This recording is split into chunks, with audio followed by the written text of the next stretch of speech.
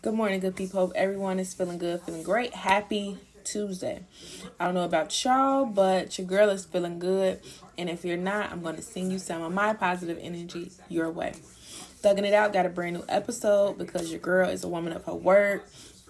Make the plan. It's available on all podcast platforms, so make sure you go tell a friend to tell a friend, as well as go check out Talk of the Family on YouTube if you have not done so already.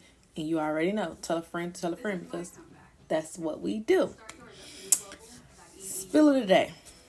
There's always a silver lining. So, regardless of what the situation is or how you might look at something, there is always a silver lining.